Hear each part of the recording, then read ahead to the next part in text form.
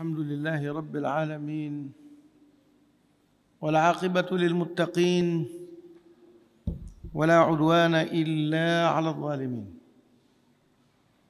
ونشهد أن لا إله إلا الله وحده لا شريك له ونشهد أن محمدا عبده ورسوله. اللهم صل على محمد وآله كما صليت على إبراهيم وآله. وبارك على محمد وآله كما باركت على إبراهيم وآله إنك حميد مجيد. أما بعد السلام عليكم ورحمة الله وبركاته. أحكام الجنائز بنجلج 129 haya ukurasa wa 299 kwa kopi nilionayo mimi. Kipengele cha 129 bismillahi rahmani rahim kitabu cha ahkamu ljanaizi, Wayajuzu nabshu quburi lkufari, na inafaa kufukua makaburi ya makafiri. Ikiwa kutalazim kuyafukua, basi itafaa.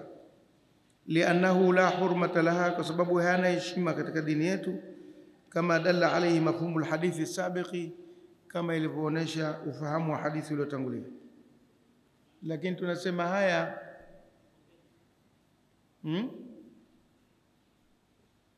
Unasemaje? Ah, maneno yako ya mwanzo bado sijafahamu. Yale maneno ya mwanzo ushatengua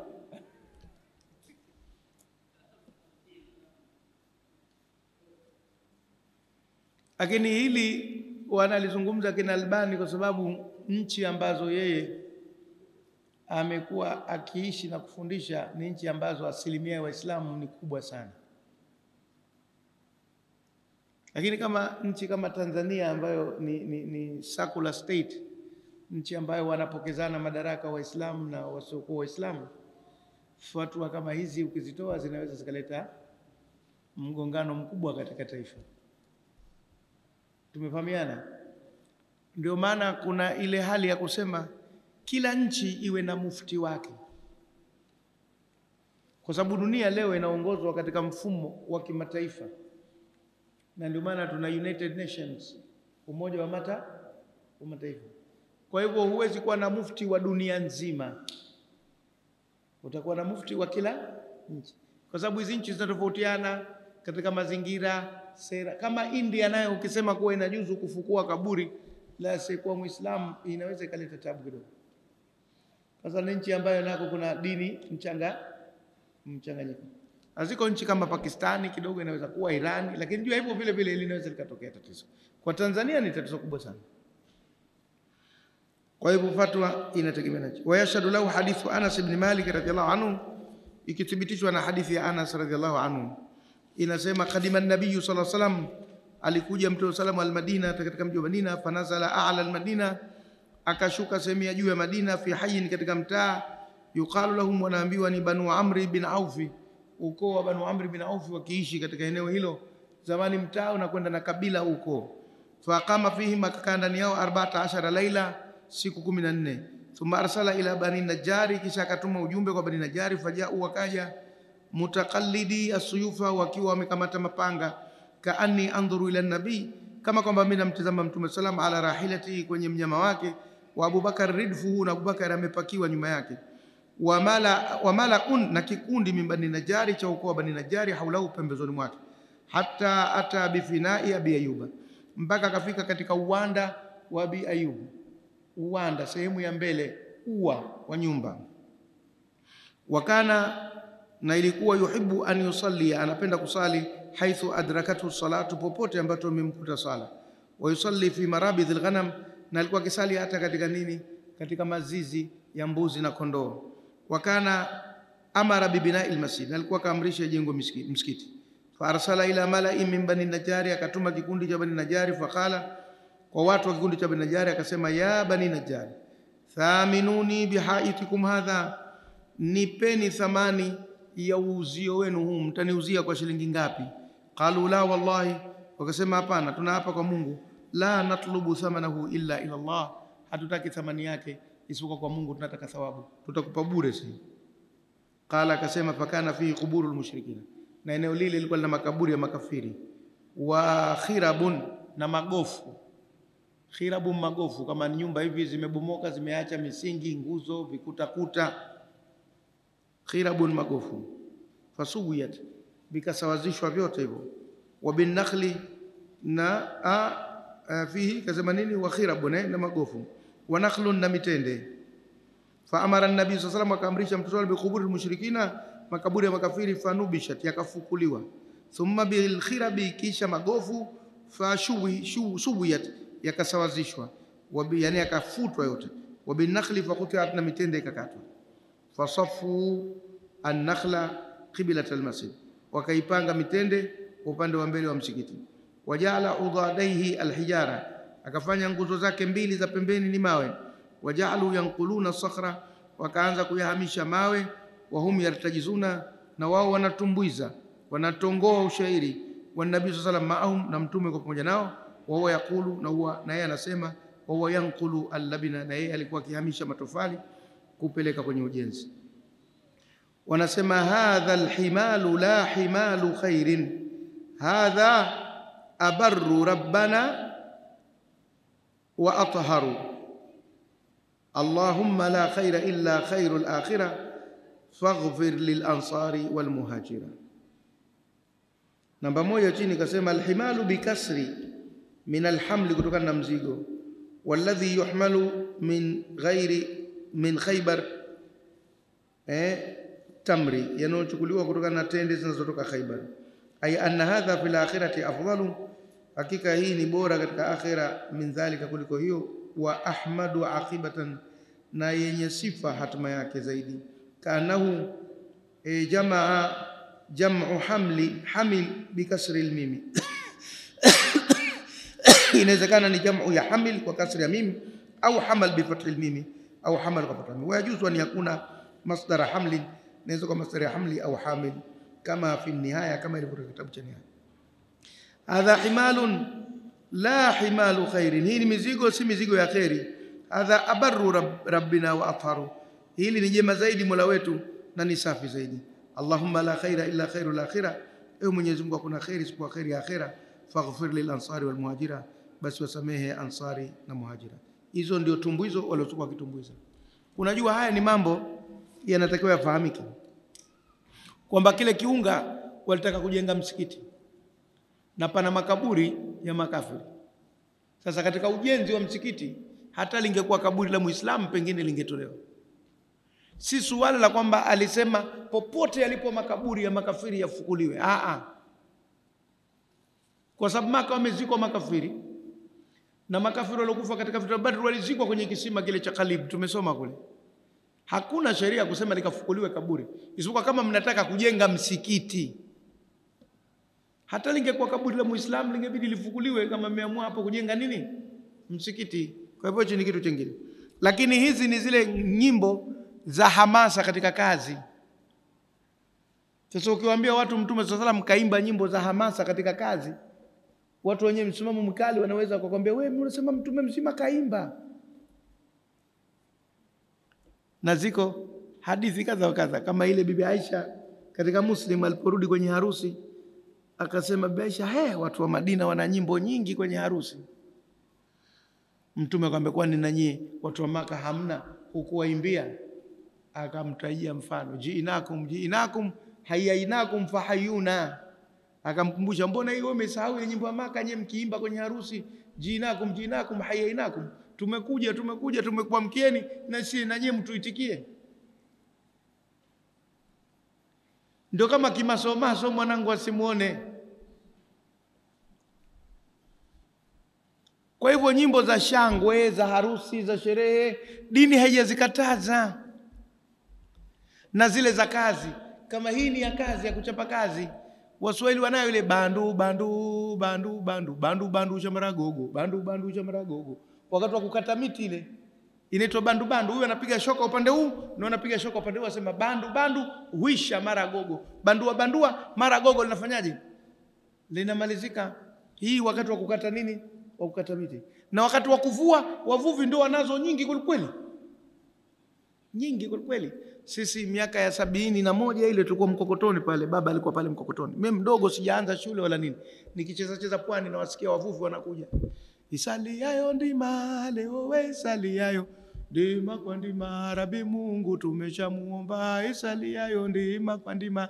Wanatweka hao tayari, wanakuja kuuza nini? Samaki.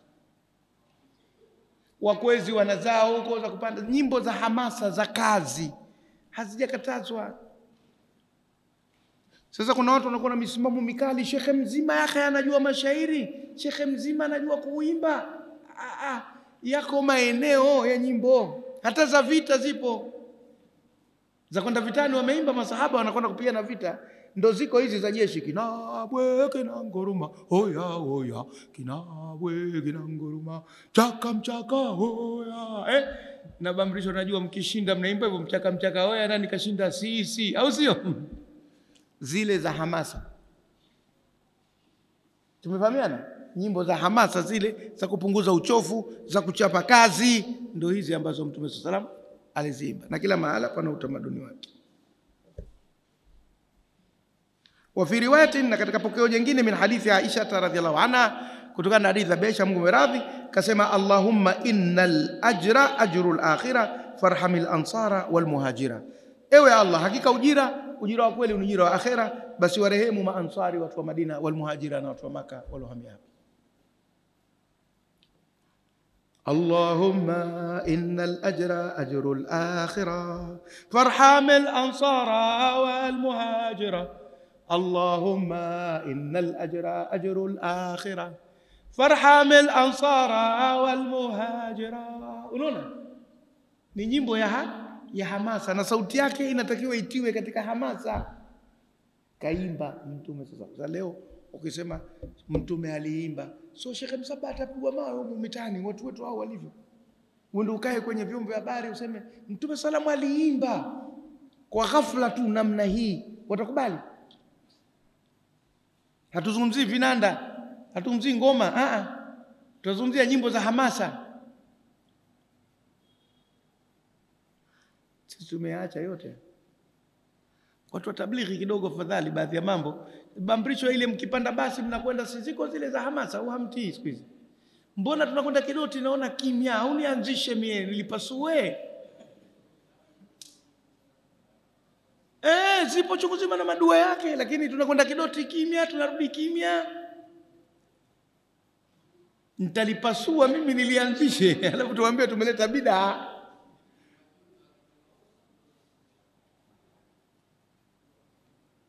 Ndio za hamasa zile za kuonesha kitu kipo na za vita na nini. Basi Allahumma ya Allah, inal ajra ajrul akhirah, hakika ujira ujira wa akhira. Farhamil ansara wa warehemu maansari na waliohamia. Akhrajahu Sheikhani. Bahati nzuri hadithi hii kaitoa Bukhari na nani na Muslim. Kwa hivyo hata wale wanaosema wanataka maduka makubwa tu wakileta ubishi, nondo hizi tunawachapa nazo kichwani eh? kwamba zipo wa ghairuhuma na wasoko hao min hadithi Anas, katika hadithi Anas wa siyaqu na mtiriko ni wake. Wal Bukhari min hadithi Aisha, ama Bukhari yeye katika hadithi ya bibi Aisha. Wama ba, baina alqausaini, na kilicho baina mabano mawili min hadithi katika hadithi ya Aisha, kwa sababu hii nyingine ni ya harusi. Wa qad kharajtu alkharajtu alhadithaini al hadithaini fi fi thamari almustatabi, na nimetoa hadithi zote mbili hizi katika nini? Katika matunda yaliyoiva. Hapana, wala si katika harusi. Bado bibi Aisha anaripoti tukio lile lile. Kwa upande mmoja ni Muslim, upande mmoja ni Anas, upande mmoja ni bibi Aisha. Hawa ndio masahaba wanaotupa hizi ta taarifa. Bibi Aisha ni mkewe na Anas ni mtu aliyemlea, kwa hivyo watu wa ndani kabisa katika familia. Qala al-Hafidh fi al-Fath, akasema al-Hafidh Ibn Hajar katika Fath Fathu, akasema Fathul Bari, sharh ya Sahih Bukhari wa fi lhadithi jawazu tasarufi fi lmaqbarati lmamlukati bilhibati walbai, na katika hadithi hii kuna kufaa kutumia katika makaburi yanayomilikiwa kwa kuzawadiwa au kwa kuuzwa, ukafanya uamuzi. Ikiwa ardhi imeuzwa na kaburi na kaburi la Muislamu, unaweza kufanya uamuzi wa kulifukua. Lakini sasa kwa sheria za nchi za leo watapiga kelele watu kweli kweli. Tumefahamiana eh? Kwa sababu nchi zetu zinatumia sakula eh, dini zote zinapewa heshima namna namna moja. Wajawazu na kufaa nabshu lquburi darisati, kuyafukua makaburi yaliyokushafutika, idha lam takun muhtarama, yatakapokuwa hayana heshima yote katika dini yetu. Lakini anasema hilo litaleta mgogoro. Wajawazu salati fi makabiri almushrikina, na kufaa kusali katika makaburi ya washirikina, lakini baada nabshia, baada ya kuyafukua, wa ikhraji mafia, na kutoa vilivyomo, wajazo wazi bina lmasajidi fi makinia, na kufaa kujenga msikiti katika maeneo hayo. Lakini hii si lazima makafiri tu, hata makaburi ya Waislamu yakifukuliwa yaka mdongo ukenda ukazikwa kwingine, pale patafaa kujenga msikiti pale pale, ama yakiendelea kuwepo haitofaa kujenga msikiti.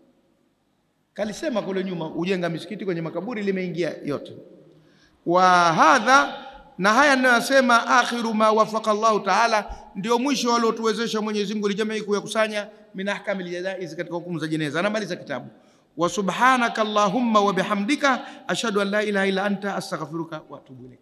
Unaona, mpaka watu wa sunna bamrisho wanathibitisha uradi huu katika kumaliza kikao, kumaliza jambo, kumaliza kitabu lakini tizameni katika utekelezaji, watu wanaolisema sana jambo hili ni watu wa tablighi peke yao. Sisemi kwa kupendelea. subhanaka allahumma bihamdika nashhadu an la ilaha illa anta nastaghfiruka wa natubu ilaika, ni watu wa tablighi ndio wanaolikuza kuliko makundi mengine yote. Na nyewe fanyeni uchunguzi. Hamfanyi mzee mzee mkubwa katika vikao hii, katika kumaliza, ndio umekuwa kama mazoea makubwa katika katika mambo ya tablighi. Hao wengine hawakulipa nguvu ingawa lipo katika sunna. Ndio maana anasema katika makundi ya Kiislamu ya kila kundi lina faida yake, hakuna kudharau. Kuna mambo fulani yameshikiliwa vizuri na makundi fulani, makundi mengine wamefanyaje? Wameyaacha. Kwa hivyo wewe, kila kundi ukiliona jambo zuri, chukua lile zuri katika kila kundi, na ukiliona alikubaliki, achana nalo, hata kama kundi hilo umezaliwa nalo na una mpango wa kufa nalo, lakini jambo lilokuwa si zuri liache. Tumefahamiana mpaka hapo? Kamaliza kitabu akasema, uh, ndio hiyo hapo. Subhanaka allahumma bihamdika ashhadu an la ilaha illa anta astaghfiruka wa atubu ilaika. Damascus, Dimashq, kakitunga kitabu hichi katika mji wa Damascus, Syria, ambao sasa hivi ni nchi imevurugika kulikweli inasikitisha sana, na ndiko alikokulia Nasiruddin Albani, ingawa asili yake ni Albania, katoka Balkan kule Albania, lakini kakulia hapo. Nasiruddin Albani Dimishqi tarehe mosi mwezi wa saba 1373 Hijiria. Watan wantaha, na imemalizika tabiidhu huu kuurekebisha mswada huu dhuhur al-ahadi, ilikuwa ya dhuhuri. Tabiidhi maana yake kuurekebisha, kupitia na kusaisha. Dhuhura ilikuwa dhuhuri al-ahadi ya siku ya Jumapili tarehe 19 mwezi wa 4 1382 Hijiria. Walhamdulillahi rabbil alamin. Haya ndio mambo aliyoandika Albani. Huku mbele kuna nyongeza, sijui kama vitabu vyenu vyote imetiwa nyongeza au haijatiwa nyongeza. Bidaul janaizi, mazushi ya jeneza, kwenu imo? Basi tuiguse kidogo leo, angalau tupate peji mbili za bidaul janaizi eh? Mazushi katika mambo ya jeneza. Kule kazionesha zile taratibu za kisunna zinazotakiwa kufuatwa katika mambo ya jeneza, sheria ya Kiislamu inavyotaka. Sasa kuna mambo yameongezewa ambayo hayamo katika dini. Tumefahamiana? Anataka kuyazungumza bidau mazushi ljanaizi ya majeneza. Anaanza kwenye ukurasa wa 305 kwa kitabu changu, bidau ljanaizi, mazushi ya majeneza.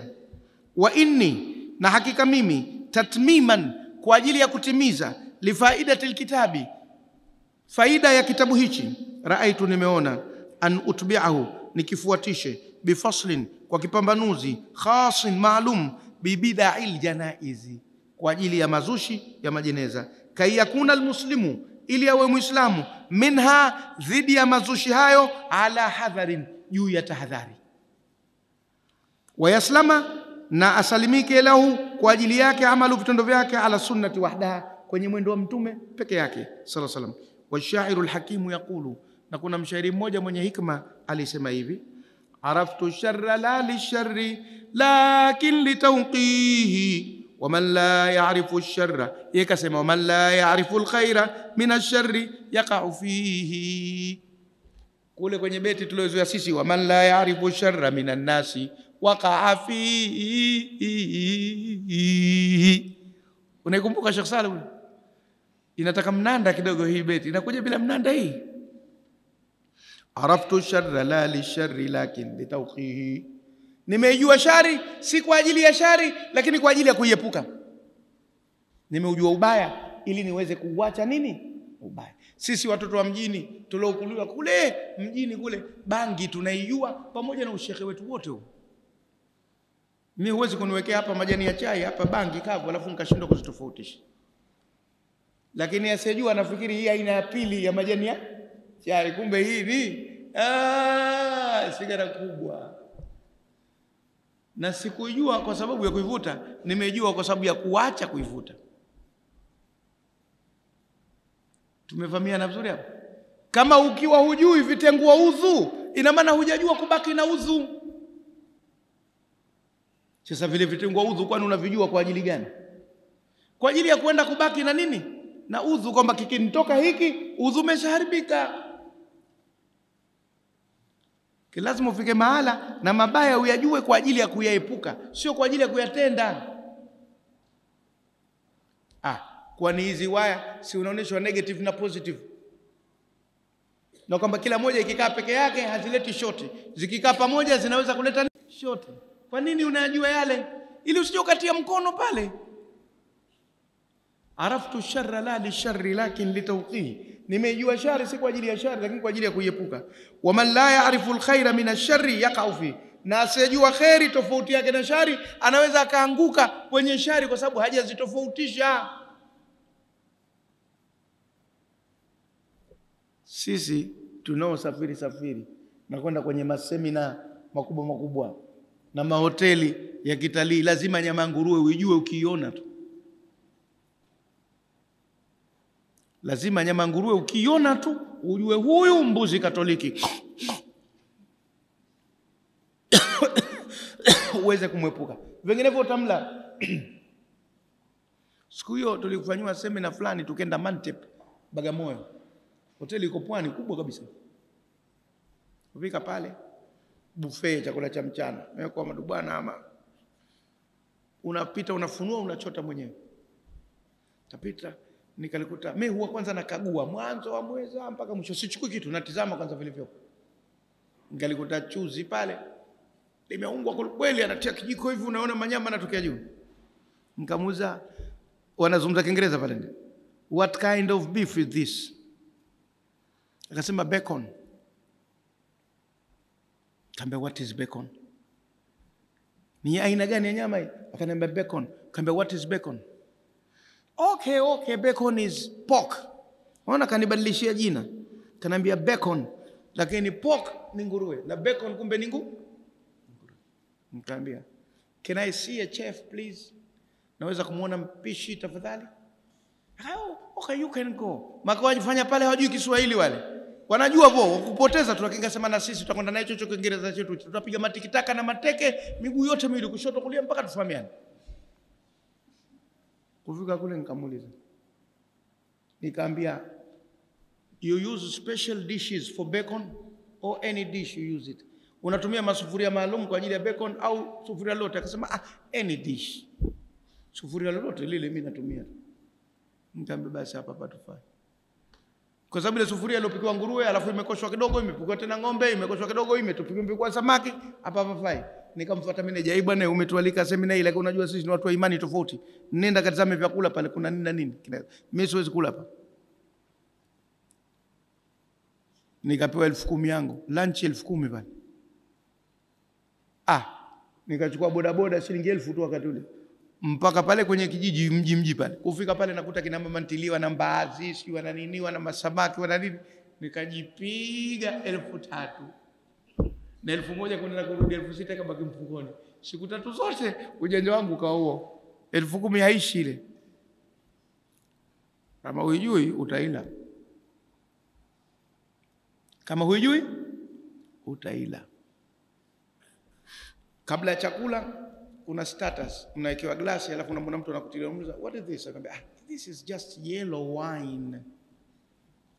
Yellow Yellow wine ndo nini? Wewe unafikiri juice yellow wine. Eh? You, you want to flush your stomach, you know? Eh? Unataka kusafisha tumbo lako before eating. So this is yellow wine. It is a very fresh one. Yellow wine. Eh, okay, good. With or without alcohol, it has a little of alcohol over 5%. No, ina kilevi haina saa kidogo tu kama asilimia tano na kuendelea. Wewe tayari kisha kupelekesha,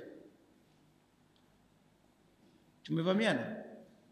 Unakwenda DRC kule, walikwenda viongozi Kongo enzi hizo za Mobutu Sese Seko Nguku wa Zabanga, wakaletewa ugali na nyama za kuchoma, wakapiga hata kumaliza, ndo wanauliza what kind of meat is this, nyama gani tulokula? Sema ah, it is our cousin sir, huyo ni binami yetu mlomla. Binami eso what is what is cousin? Sema chimpanzi kima ushakula nyani siku nyingi wanauliza mwisho our binaami yetu huyo tumemla binaami. Kwa hivyo kama hujaijiwa shari utatumbukia kwenye nini? Kwenye shari. Tumefahamiana watu wazima. Kwa hivyo lazima ujiongeze katika dunia leo, uyajue mambo katika dunia leo, ili usije ukatumbukia katika mambo yaliyokatazwa. Ndio mshairi anaanza, na ndio maana kwa nini anafundisha vitu ambavyo havitakiwi. Wa fi hadithi Hudhaifa ibn al-Yamani, nimesaidia maelezo ya ziada mimi eh? wa fi hadithi Hudhaifa ibn al-Yamani, na katika hadithi ya Hudhaifa ibn al-Yamani qala, akasema wa kana nasu yasaluna rasul sallam anil khairi, watu walikuwa wakimuuliza mtume sallallahu sallam katika mambo ya khairi tu, wa kuntu asalu anil shari, lakini mimi nilikuwa nikimuuliza mambo ya shari. Huyo Hudhaifa yeye akimuuliza mambo ya shari, watu wakimuuliza mambo ya khairi, yeye anauliza mambo ya nini? Mambo ya shari. Makhafata an yudrika, ni kwa kuogopa yasije kanipata haya mambo ya shari nikashindwa kujiepusha. Akhrajahu al-Bukhari, hadithi katika Bukhari kwa namba hizo na Muslim kwa namba hizo. Na Hudhaifa ibn al-Yamani ni mmoja katika masahaba wakubwa kulikweli, na niliwahi kusema na nasisitiza tena kwamba sisi Waislamu wakati mwingine tunababaika na majina. Huyu Hudhaifa ibn al-Yamani unaweza kumaliza mwaka wewe hujamsikia kutajwa au zaidi ya hapo, lakini sahaba mmoja alikuwa na imani ya daraja la juu kwelikweli, huenda akawa kawazidi wengi ambao tumewazoea sisi, lakini kimya, yuko silent. Siku moja Mtume saa salam alfajiri, kabla ya adhana, akaingia msikitini, kamkuta Hudhaifa anasali. Alipomaliza kutoa salamu, Hudhaifa akaenda akamwamkia Mtume akamwambia, kaifa asbahta ya Hudhaifa, umeamkaje? Akaambia, asbahtu muqinan khalisan lillah, nimeamka na uhakika katika imani halisi ya Mwenyezi Mungu. Akaambia, likulli shay'in dalil fama daliluka, kila kitu kina hoja, nipe hoja yako. Yaqini imepanda vipi? Akasema, asbaha almadaru walhajaru amami sawa, nimeamka mimi dhahabu na, na jiwe naviona vyote vina thamani moja, ndio dalili yangu. Dunia naiona si lolote si chochote. Ukinipa dhahabu, ukinipa jiwe, naona umenipa kitu kimoja tu. Uona, fikiri imani yote ifika bila ya basi? Nipe gazeti na nipe elfu kumi nitachukua elfu kumi bwana, kuachia gazeti. niku nipe gazeti na elfu kumi nikachukua gazeti na wazimu mimi. Eh, lakini Hudhaifa ibn al-Yamani alifikia daraja kama hiyo, unampa gazeti na elfu kumi anachukua gazeti na kuachia elfu kumi daraja. Sasa akasema nilikuwa mimi sasa naulizia mambo mabaya kwa kuogopa nisije nikaingia kwenye mambo mabaya. Walaula anna alfadla almushara alfasla almushara ilayhi, na isingekuwa kipambanuzi hichi kilichoashiriwa, kanat madatuhu jahizatan indi, mada yake imeshakuwa tayari kwangu. Lama tasaa wakati, usingetosha wakati wangu lana hivi sasa, lijamia kukusanya wa ilhaqiha bilkitabu, na kuunganisha na kitabu.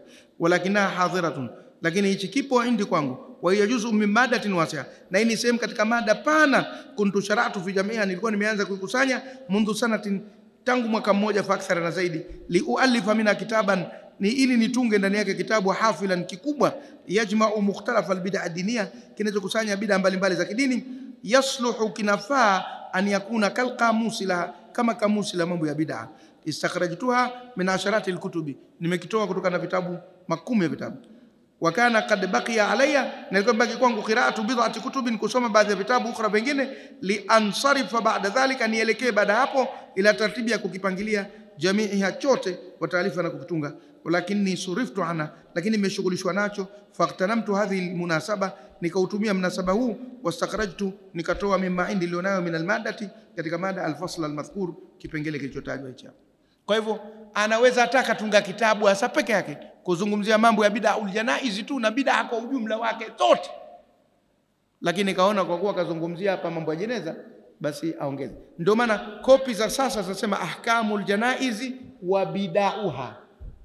Kopi za mwanzo za kitabu hicho ilikuwa sema ahkamul janaizi basi, hukumu za majeneza, yale mabidaa alikuwa hajayasema. Sasa imeongezewa wabidauha na mazushi yake eh? na akitaka ataandika tu mazushi yote katika mambo ya dini.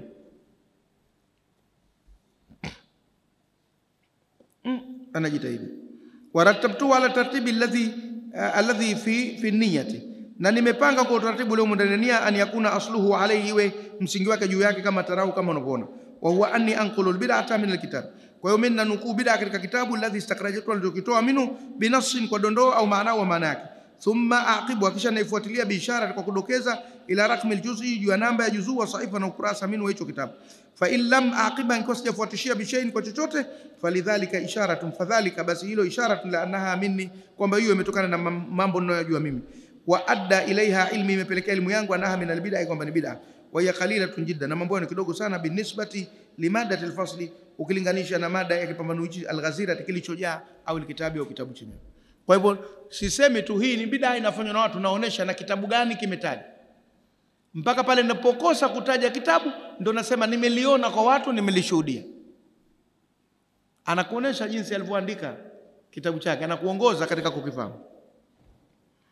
Wa kabla shuru'i fi sadriha, na kabla kuanza kutiririsha la kukitiririsha kitabu hichi au bidaa hizo la budda min dhikri alqawaidi, hapana budi nitaje kanuni wal usus na misingi allati yubna alaiha hadha alfaslu, ambayo kinajengewa kipambanuzi hichi taban lil asli, kifuate asili. Faqulu, nasema hivi innal bid'ata almansusa ala dhalalati min shar'iha, hakika bid'a iliyotajwa upotofu wake katika kutoka kwa mweka sheria ni ifuatayo: kullu ma aradha sunnata, kila iliyopingana na sunna ya mtume, min aqwali, katika kauli. Au ila faali au vitendo au ila au itikadi, wala kanat an ijtihadin. Hata kama ilitokana na juhudi ya mtu. Piga mstari kwenye neno jitihadi, hata kama ilitokana na juhudi ya mwanachuoni. Hapa anataka kidogo kutuweka kitaaluma. Kwamba inawezekana mwanachuoni kafanya jitihadi akaona hili linafaa kwa jitihadi yake, yeye atasalimika, yeye atasali atasalimika, kwa sababu idha jitahada fa asaba falahu ajrani wa idha jitahada fa akhtaa falahu ajrun wahid. Akijitahidi akapatia atapata ujira namba mbili, akijitahidi akakosea atapata ujira mmoja kwa kujitahidi, hana dhambi kwa sababu kafanya jihad Na wale waliomfuata ikawa elimu yao vile vile imeonyesha kuwa lile jambo ni sawa sawa kwa jitihadi, nao hawana makosa, kwa sababu wao wamemfuata kwa hoja. Lakini mtu akishabainikiwa kuwa hili silo, alafu akaling'ang'ania kwa ushindani, hilo sasa ndo lake. Tumefahamiana vizuri hapo. Kwa hivyo ziko nyingine nakubali zimetokana na jitihadi za wanazuoni, wameona kuwa inafaa katika jitihadi zao, si kwamba walikuwa na nia ya kuzua jambo. Hapa kidogo wanapunguza makali ya watu. Kuna baadhi ya watu wanachukulia katika bidaa watu wote wanakusudia vibaya na nini, wa washenzi hawa. Ah, ah. Yani mtu katunga maulidi unafikiri alikuwa anamchukia Mtume? Aliyetunga maulidi anamchukia vipi Mtume? Na yeye ndo anamsifu Mtume, tena anamchukia vipi? Aliyetunga khitma anamchukia huyu marehemu, anayemsomea hamchukii hata kidogo, wala hachukii dini, nia yake ilikuwa njema. Lakini sasa kama hatukubaliana naye, tutasema hatukubaliana naye kwa hoja gani? Lakini hatuwezi kumchukulia kuwa alikuwa na nia mbaya katika dini. Sasa wakati mwingine mapambano haya yanakuja kwamba watu wa upande mwingine wanatupa makombora kama vile hawa ni waharibifu, mafisadi, wanataka kuharibu dini. Hawakuwa na nia mbaya. Tumeelewana vizuri hapo? Sasa twende tutatizama baadhi ya mambo. Hilo la kwanza kalisema. La pili, ba kullu amrin yutakarabu ila Allahi bihi, kila jambo ambalo hujisogeza mtu kwa Mwenyezi Mungu, wakad naha anhu Rasulullah sallallahu alaihi wasallam, mtume kalikataza, litakuwa halifai, japokuwa unajisogeza kwa Mwenyezi Mungu. Maana yake makafiri walijisogeza kwa Mwenyezi Mungu kwa mambo, lakini yamekatazwa. Kwa mfano, walikuwa wanasubiri saa nane za usiku wanakwenda Alkaaba kufanya tawafu uchi Wakiulizwa kwa nini, wanasema hizi nguo hatuziamini, pia inawezekana zina dhulma, kwa tunakwenda kama tulivyozaliwa. Kwa nini yao ilikuwa ni nini? Sikujisogeza kwa Mwenyezi Mungu kwa usafi zaidi. Sasa wewe ukiamua saa nane za usiku chumbani kwako uzime taa, usali sala za usiku, unavua nguo zote ili kisiwemo kitu cha dhulma hata kimoja, zimebakia ndevu tu na madubana mengine, kwa sababu haya naota huja mdhulumu mtu itakuwa ni sawasawa sawa hiyo? haiwezi kuwa sawasawa, sawa, kwa sababu inakwenda kinyume na sheria. Ibada inataka stara ya mwili. Kwa hata kama itakuwa ni kujikaribisha kwa Mwenyezi Mungu kwa nia njema, madhali haijafuata utaratibu, hapana. Unasema mimi kila shonde au kutu moja inayotoka nitasema subhanallah, namshukuru Mungu kwa kunya subhanallah, subhanallah, subhanallah. Je, ni utaratibu uliowekwa? Kwani una nia mbaya we kwa kufanya hivyo? Nia njema peke yake haitoshi kama hujafuatwa utaratibu. Kwa hiyo jambo lolote lile ambalo mtu anajisogeza kwa Mwenyezi Mungu kama halijafuata utaratibu, linakwenda kinyume na utaratibu wa dini, bado litakuwa halifai. Tumefahamiana? Tusichukulie poa tu mambo Kwani kuna ubaya gani watu kukata viuno kwa ajili ya kumsifu Mtume? Kuna mtu mmoja leo kusema namna hii, upo ubaya, Mtume asifiwe kwa kukata viuno. Tumeelewana vileo? Maanake wakati wengine katika kutetea wanakutana na vijitu vichwa vyao vibovu. Kwa hivyo na wewe lazima useme hivyo hivyo, mwende nginja nginja mpaka baharini, ndio mtaelewana. Hakuna habari za kumsifu Mtume kwa kukata viuno. He, hatari. Kullu amrin, kila jambo la yumkinu an yushraa illa binassin au tawqifin, kila jambo ambalo haliwezi kuwekewa sheria isipokuwa kwa dondoo aya au hadithi ya Mtume salam au kwa kutegemea wahi, wala nasa alayhi, na jambo hilo halina dondoo yoyote, fahuwa bid'atun illa ma kana an sahabi, hilo itakuwa ni uzushi labda litokane na sahaba, takarara dhalika alamalu minhu, likajirudia rudia jambo hilo kwake, kitendo hicho, duna nakirin, pasina kupingwa na sahaba mwingine, tutaliwekea husnu dhanni kuwa masahaba walifanya kwa nia njema, na bila shaka wana mahala walipokamata. Lakini kama alikutoka kwa watu waliomshuhudia Mtume saa salam, itakuwa vigumu kulishika. Ipo ile hoja ya mwanamke mmoja alikuwa anamsabihi Mwenyezi Mungu kwa kutumia mawe. Nikumbuka Sheikh Salum akawa amepanga sijui mawe elfu kumi anamsabihi Mwenyezi Mungu. Akamweleza Mtume salam, Mtume salam akamwambia, ah, unajihangaikisha sana, ilikuwa inatosha kwa kusema subhanallah adada khalqi wa ridha nafsi wa zinata arshi wa midada kali. Lakini yule mwanamke alikuwa sahaba, ndio tunasema ni sahaba, na kama ni sahaba na yale ni mawe kaleta, na mtume hakumkataza kuleta mawe, kamwambia lilo bora tu. Kwa hivyo huwezi kusema leo kama watu wanamsabihi Mwenyezi Mungu kwa kutumia changarawe utakuwa umeleta bidaa. Utasema tu si bora, bora ingekuwa hivi kuliko kuliko hivi. Tumefahamiana? Sasa kidogo watu wengine wanakuwa wakali mno katika katika kwenda eh? Kuna msikiti mmoja ulichukuliwa na watu wa Sunna na mlikuwa mbele kule, kuna lile gunia la sijui kikapu gunia, sinawekwa zile mbwe zile e, zile za halili zile. Allahu akbar, walizitoka wakazirembea rembea nje huko, wanapiga mateke vikapu. Ah, lakini hiyo imezidi kiwango tena eh? Haiko katika namna kama kama, kwa sababu lile si jambo ambalo la kwamba labda zile tasbihi zenyewe na yale mawe kwamba amenikosa kumsabihi Mwenyezi Mungu kwa kutumia mawe, la, lilo bora ni hili sasa unalisukuma kulipiga mateke namna hiyo, maana gani? Ni kama nyumbani kwako wewe umetarajia mkeo apike wale akapika ugali, tena unauchukua unarembea nje. Mimi nilikwambia upike ugali leo, unautupa nje. Ah, hata kama ulikuwa hutaki ugali, lakini usiurembee nje, si heshima yake. Twendeni, ndio maneno ndio. Wakati mwingine unafika mahali unasema yule Sheikh Msabaha tujui, si mtu wa sunna, mtu wa bid'a, tumuelewi. Ah ah, mimi nazungumzia taaluma katika taaluma lazima uheshimu taaluma yako, usivutwe na mirengo na misimamo katika swala la taaluma. Kaa kwenye elimu inavyosema. Hasa ukinitafsiri mtu wa bid'a au kinafsiri mtu wa sunna, hilo litakuwa lako mwenyewe, utajaza. Takarara dhalika alamalu, ikijirudia rudia amali hiyo minu kutoka kwa sahaba duna nakiri, mpasi na kupingwa na sahaba yote, basi nayo itakuwa haiwezi kuwa bid'a tena. Wa ma ulsika bil ibadati min adati al-kufari yaliyogandanishwa na ibada katika desturi za makafiri, nalo litakuwa halifai.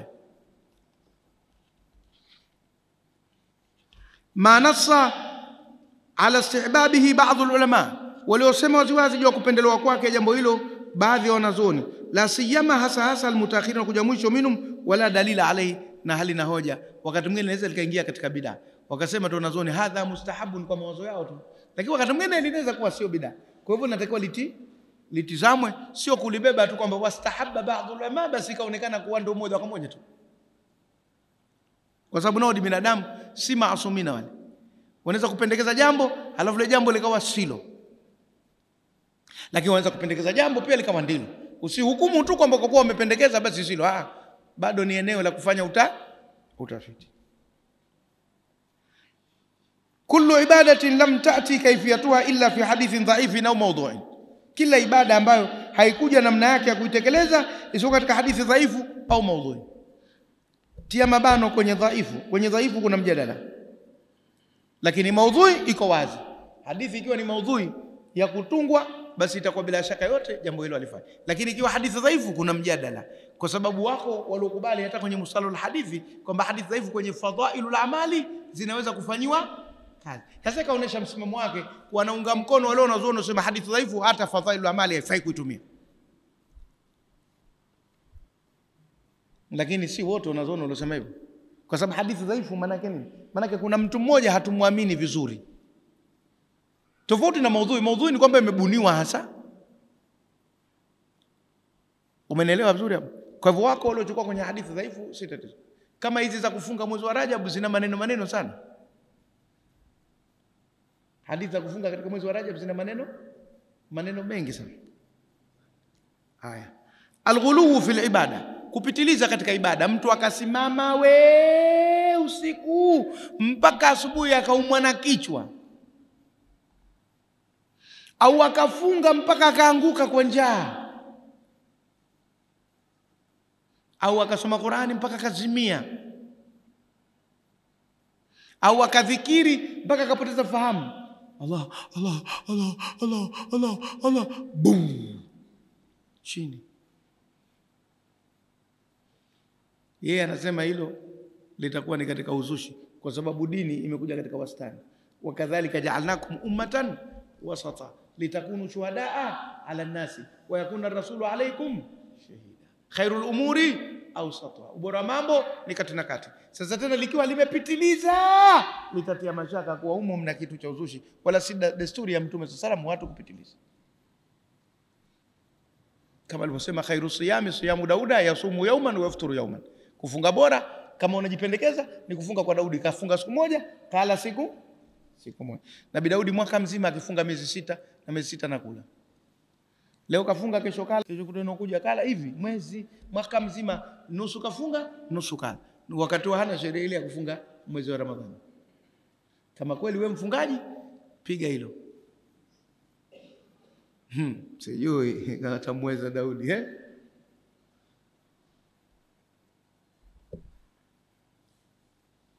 kullu ibadatin atlaqaha shari'u, kila ibada ambayo sheria imeiachilia, wakayadaha nasu, watu wakaifunga, bibadhi alquyudi, kwa baadhi ya vifungo, mithlu almakani, kama eneo au zamani au muda au sifatin au sifa au adadin au idadi, kama vile kusema mtu anaweza akasali sala kujipendekeza yoyote. Ya haina idadi maalum. Wengi wamesema mbili salamu, mbili salamu, mbili salamu. Aludhairu asema hata moja tu, moja salamu, moja salamu, moja salamu, lakini ile moja inaonekana imehusishwa kwenye witri kule. Sasa mbili salamu, mbili salamu, mbili salamu. Sasa mtu akamwambia mwezi kumi na tano Shaabani ukisali usiku rakaa mia moja unajenga ghorofa kumi peponi. Mm. Kisha kufungia muda, kisha fungukia idadi na kisha kuzawadia, kisha kupa ofa kwa kutaja majina Umenifahamu? Au ukichinja mbuzi mwekundu saa sita siku ya Ijumaa, alafu kahakisha baada ya Ijumaa maskini wanakula, Mungu atakupa hurul ain, ana kiuno kama mlango. Peponi ukiingia utakutana na hurul ain lina kiuno kama mlango.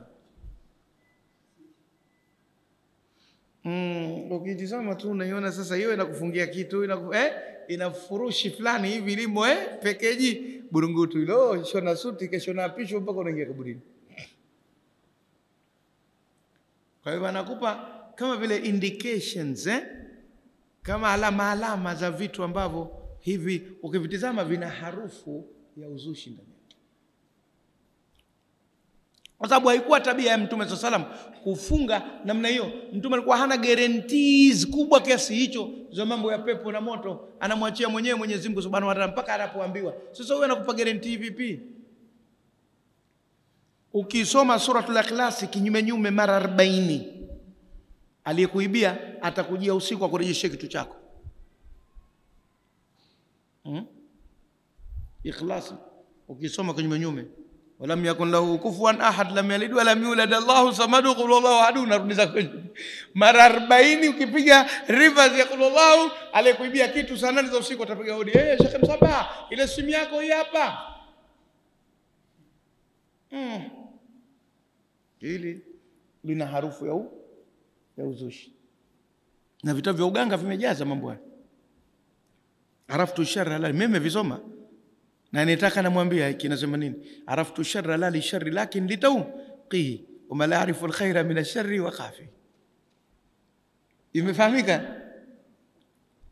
Sasa wengine wanasema Sheikh Msaba akasoma vitabu vya uganga eh, araftu sharra la li sharri lakin litauqihi ndo mashekhe wa nguruwe ati analeta juu ya meza ukamla, kwa sababu ukitaka kumjua na hujajua bangi, ukaambua majani ya chai ukakubali.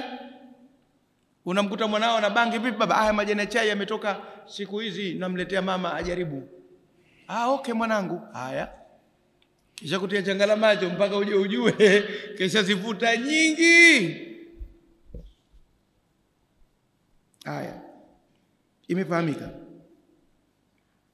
au zamani au sifatin au adad wa tafsilu alqawli, na ufafanuzi wa kusema fi hadhihi alusuli, katika misingi mahalu huwa alkitabu almustaqilu, mahala pake ni kitabu kinachojitegemea insha Allah taala, pendapo Mwenyezi Mungu. Tukitaka tutatunga hicho baadaye kitafafanua, lakini falnashrai, nacha tuanze alana hivi sasa fil maqsudi, katika maksudi yetu. Faqulu, nasema hivi ndo ataanza kuja kutaja sasa hayo mazushi. Au nataka kujua? Ah, yaliyounganishwa katika ibada kwenye desturi za makafiri. Ah, ni kama mfano vile kuwa watu kuvaa nguo nyeusi. Kafa mtu, nyote mnapewa fulana nyeusi. Wanafanya jamaa wa kishia hii kwetu sisi. Hiyo ada hiyo ipo kweli? Iko kwa nani sasa? Juma, si jamaa wale upande wa pili ndio wanavaa nguo nyeusi siku za misiba. Sasa kwetu sisi nayo inatumbukizwa hiyo.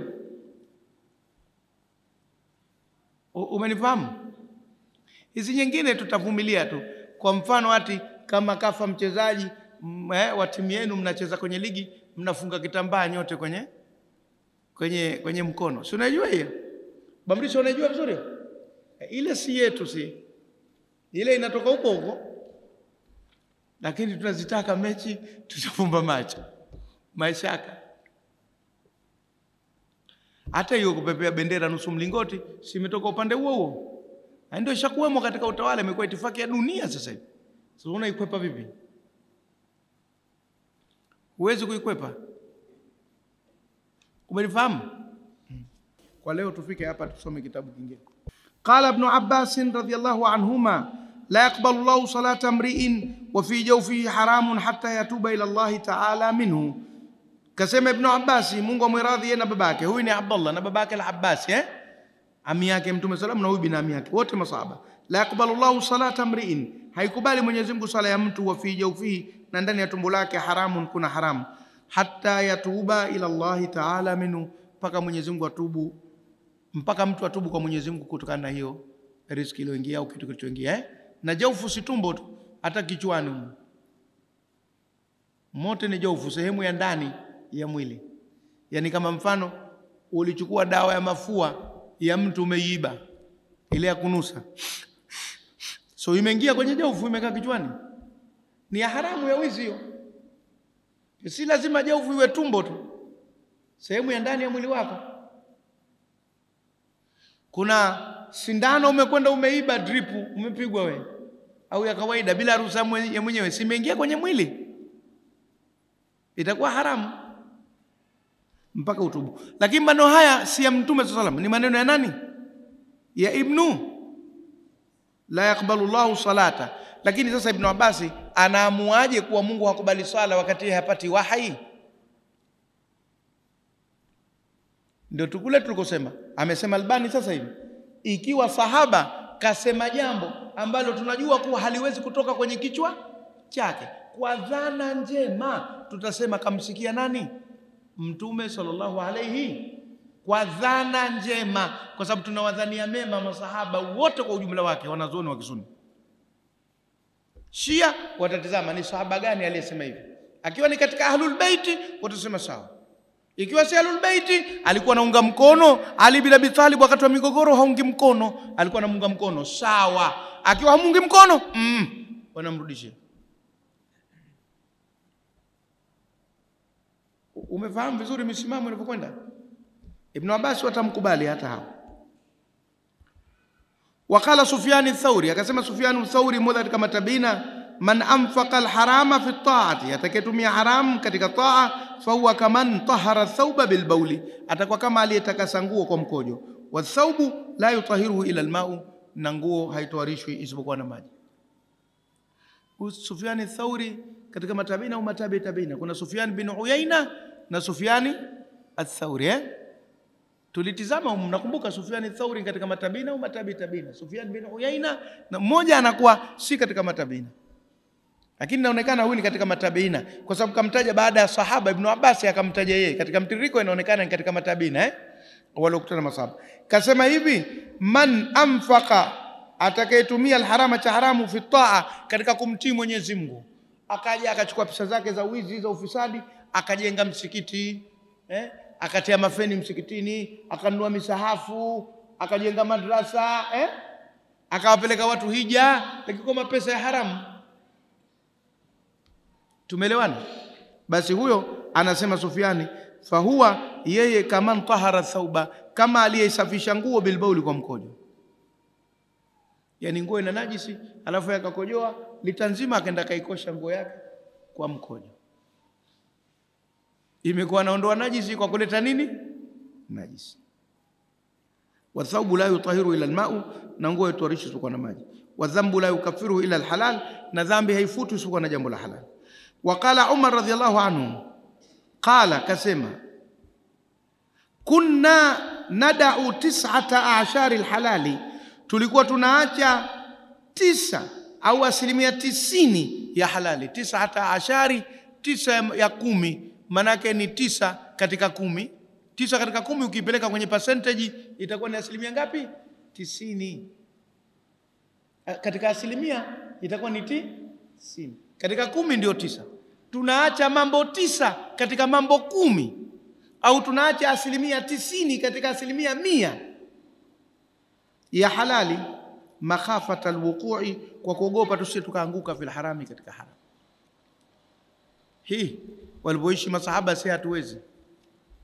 Yani kitu kikiona kina utata kidogo tu hivi wa kuelekea kwenye haramu ukiacha, na ndio maana hawakuweza wengi wao kutajirika. Umenifahamu?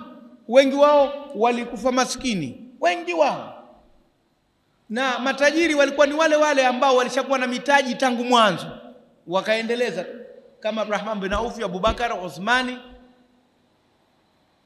lakini wale wengine waliokuwa malofa wakaingia kwenye Uislamu wakaendelea hivyo mpaka kufa kwao, kwa sababu walikuwa wanaiogopa haramu kupita kiasi. Sisi sasa hivi hatuwezi. Ndio maana wakati mwingine tukisema daraja za masahaba hatuwezi kuzifikia, watu wanashindwa kutufahamu. Hey, masahaba si watu tu kama sisi, hatuwezi kufikia vipi? Ni watu kama sisi. Kwani Pele si mtu kama sisi? Mbona watu hawakumfikia kiwango cha mpira watuchunguzi Mungu? Kwani Isaac Newton si mtu kama sisi? Mbona wanasayansi wengi hawakufikia mpaka manadharia aliyokuja force of gravity na nini, hawakuvumbua mengine, wamerudi kule kule alikosema Isaac Newton, naye ni mtu kama sisi eh? Albairuni mtu kama sisi. Archimedes, Archimedes alioleta Archimedes principle, wanasayansi wanafurahi hapa na watajia watu wao. Alokwenda akaingia kwenye sinki la kuogelea, akaona maji yamepanda juu chwa, akatoka uchi, nshavumbua, nshavumbua. Akaambua kweli, umevumbua, umetoka uchi na kweli alivumbua, lakini akili yake ilikuwa kwenye uvumbuzi, kasahau hata kuvaa nguo. Inajulikana Archimedes story katika Archimedes principle, ukisoma utajua habari zake katika physics. Sasa unafikiri watu kama wale na mambo waliofanya unazipata kirahisi daraja zao? Na sisi kwa masahaba ndio hivyo, wanaacha asilimia tisini ya halali kwa kuogopa kuingia kwenye nini haramu. Ndio maana ukasikia mtu alikuwa na nguo mbili, ndio hizo zo mbili tu, Saubani anaogopa kuchukua ya tatu isikuwa ya haramu. Si hapa makanzu peke yake, ukihesabu mwenyewe, ukiulizwa kanzu zako ngapi, usema ngoja, nyeupe, ya bluu, nyekundu, ile fupi, mikono fupi, ile- unazihesabu. Huwezi kuzitaja kwa kichwa chako ngapi kanzu ulizonazo nyumbani, mpaka uanze kuzihesabu kwa vidole. Ana, ana, ana do kachanika basto isipiringi matido Sahaba ukimuuliza una nguo ngapi, asema hii na ile iliyoko nyumbani, kashamaliza. Sasa unafikiri utawaweza eh? Nadau tisata ashari, hii asilimia tisini ya halali, makhafata alwuqui fi lharami, kwa kuogopa tusiingie katika. Wa an Ka'b ibn Ajran radhiyallahu anhu qala, kasema qala Rasul salam, naye ni sahaba. Mtume salam kasema, la yadkhulu ljannata jasadun ghudhiya bilharami, hautaingia peponi mwili uliolishwa kwa haramu, uliokuwa fed umelishwa umejengwa kwa haramu, hautaingia wapi? An Zaid ibn al-Arqam, na kutoka sahaba huyo qala, akasema kana li Abi Bakrin ghulamu, na Abubakar alikuwa na mtumishi mmoja, yukhriju lahu al-kharaja, anamkusanyia kodi. Abubakar anakusanyiwa kodi na huyu kijana eh?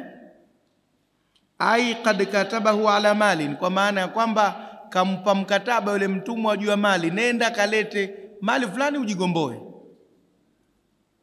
Haya, alikuwa mtumwa wa kana yajiuhu kula yaumin bikharajihi, na kila siku anamletea kodi yake. Fayasaluhu, basi anamuuliza min aina ataita biha, umepata kutoka wapi? Fa in radhiyahu akala, wakiridhia anaipokea na kuila, wa illa tarakahu, jaridhia anaiacha. Qala, akasema fajaahu dhata lailatin, usiku moja akamjia bitaamin, na chakula. Wa kana Abubakarin saiman, Abubakar kwa kafunga. Fa akala minhu luqmatan, akala katika chakula kile tonge moja.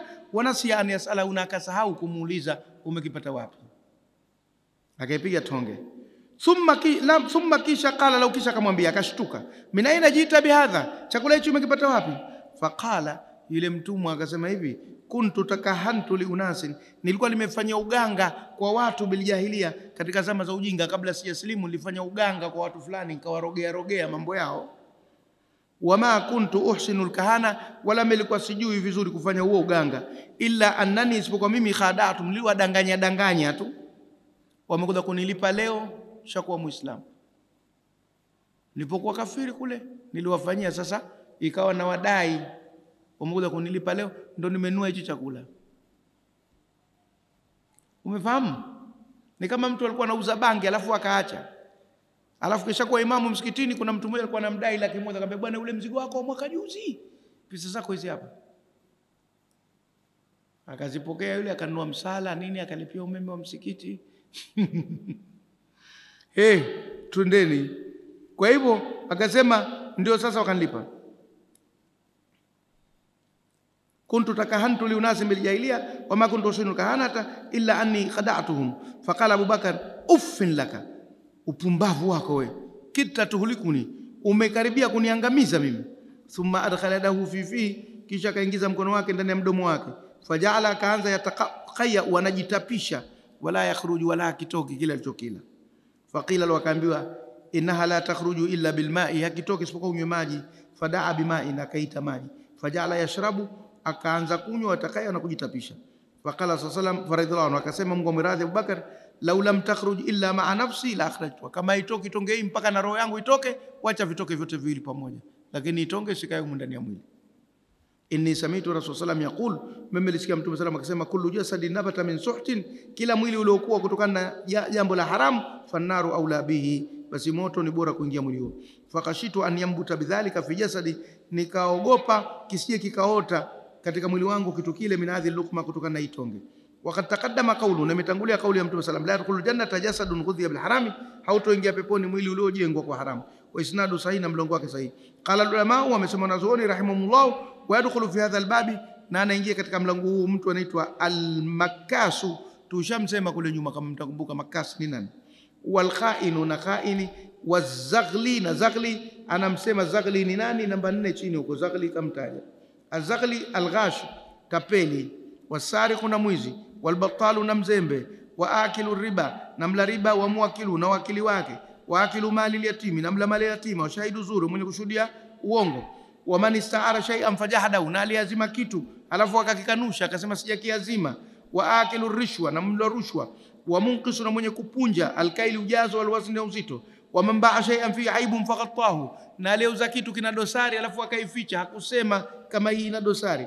Walmuqamiru na mcheza kamari, wasahiru na mtu mwenye kufanya uchawi, walmunajimu na mpiga ramli wa manyota, walmusawiru na mchoraji mtengeneza vinyago, masanamu na vitu kama hivyo, wazani na mzinifu, wanaiha na mwombolezaji. Anayepewa nini, anayepewa pesa kwa kuliza watu kwenye misiba, wal eh, ushria na mwenye kukusanya ushuru wa watu madhalimu, wa adalalu na mwenye dalali katika vitu vya haramu, sio dalali katika vitu vya halali.